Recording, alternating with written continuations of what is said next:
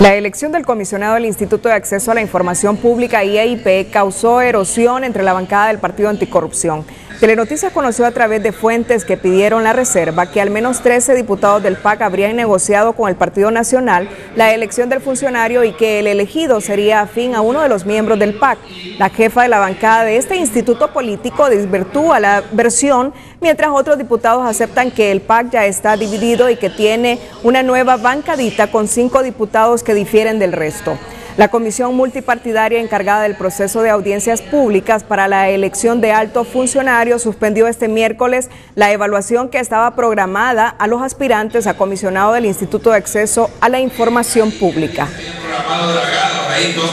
Suspendido porque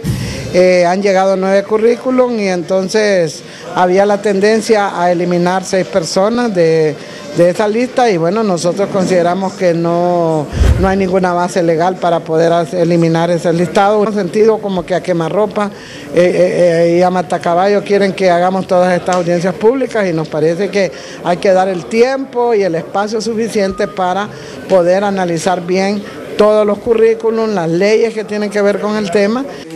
Gutiérrez insistió en que esta elección requiere tiempo y agradeció que la comisión multipartidaria haya determinado no llevar el proceso a la carrera.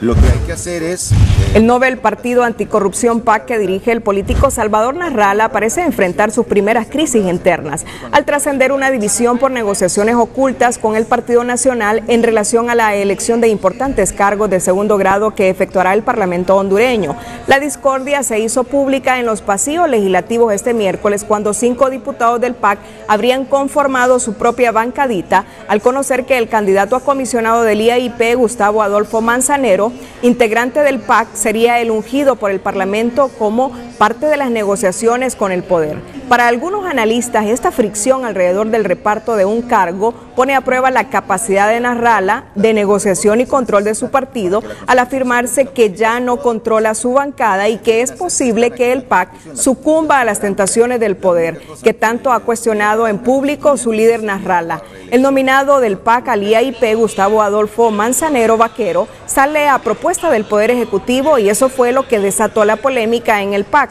Narrala ahora deberá demostrar su liderazgo para evitar la difuminación de su partido, opinan los analistas.